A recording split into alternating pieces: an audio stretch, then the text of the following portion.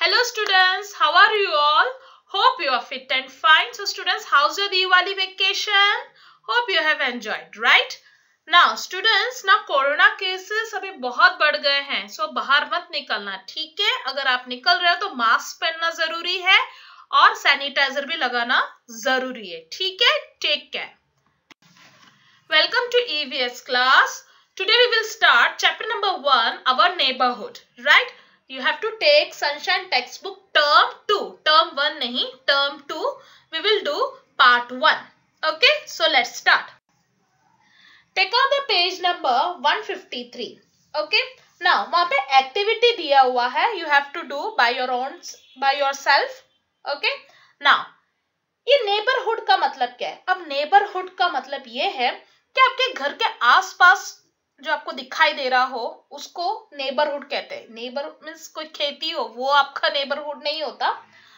जो means post office हो bank हो मार्केट हो, उसको हम नेबरहुड बोलते हैं। ठीक है?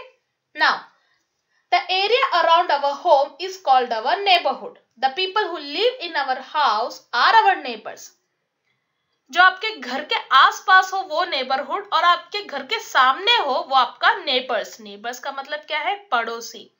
अब, पड़ोसियों से आप कैसे व्यवहार करते हैं? अच्छे व्यवहार करते कि बुरा? बुरा नहीं करना चाहिए अच्छा ही करना चाहिए.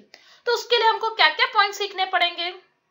For good neighbours have the following qualities they help each other अगर आपके नेबर्स पड़ोसी हो तो आप उनको जब ज़रूरत पड़ता है हेल्प की ज़रूरत होती है तो आपको, उनको हेल्प करना करना चाहिए।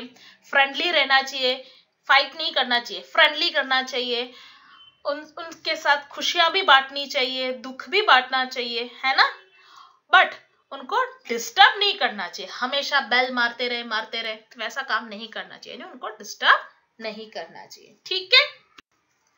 Now come to the service in neighbourhood अब हमको अब नेबरहुड यानी आपके घर के आसपास पड़ोसी की बात नहीं कर रहे आसपास की बात कर रहे तो पहला क्या दिखाई देता कुछ घर, किसी के घर के सामने बालकनी से देखे तो आ, बैंक नज़र आता है पोस्ट ऑफ़िस नज़र आता है बैंक नज़र आता है स्कूल नज़र आता है उसको हम नेबरहुड कहते हैं। तो चलो पहला हम पढ़ते हैं school. So we need some service like जो नेबरहुड नेबरहुड में से जो हमको सर्विस मिलता है पहला हम पढ़ते हैं school. We need some service like post office school and hospital to make our life easy a good neighbourhood has also these services अब पहला हम पढ़ते हैं school children learn to read and write in school school में हम क्या करते हैं? हम पढ़ाई भी करते हैं और लिखते भी हैं। है ना? आपको कुछ ज्ञान मिला नॉलेज मिलता है तो कहाँ से मिलता है? मोबाइल से नहीं स्कूल से मिलता है। है ना? स्कूल ये कार्टून में से नहीं मिलता है। ये सब स्कूल से आपको नॉलेज मिलता है ना? आपको पढ़ा, पढ़ना, लिखना सब वहाँ से मिलता है। Right next we will go for post office post office में क्या सर्विस हमको मिलता है? अभी किसी को खत लिखना हो ग्रीटिंग कार्ड्स बेचना हो तो हम कहा, कहाँ देंगे? वहाँ जाके थोड़ी ना देंगे? यानी जिसको हमको भेजना है, किसी के नाम पे हमको भेजना है, वहाँ जाके थोड़ी ना देंगे। हम पोस्ट ऑफ़िस में जाएँगे। तो पोस्ट ऑफ़िस के, वहाँ के पोस्ट मास्टर क्या करेगा? यस ये आपका नाम आपका नाम देखेगा और वो किस, कहाँ पे भेजना है वो देखेगा। हाँ ये जाएगा। Okay thank you we will do this will do this ऐसा करके वो बोल देता है। अच्छा ठीक है, वो स्टैंप मार लेता है।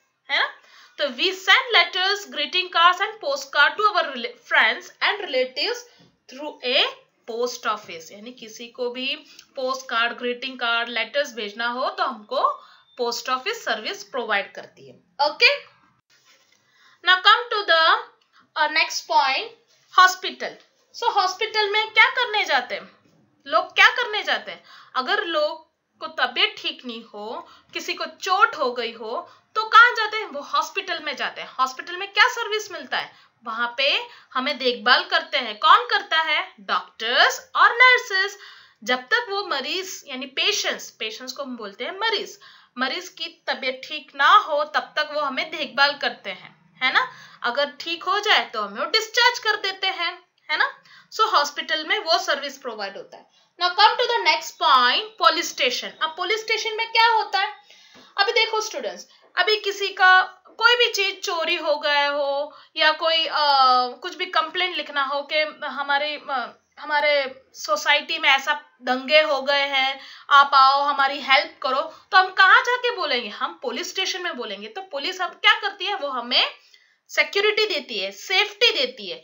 पुलिस स्टेशन में यानी पुलिस में ये काम होता है यानी सर्विस हमें सर्विस प्रोवाइड मिलता है ठीक है?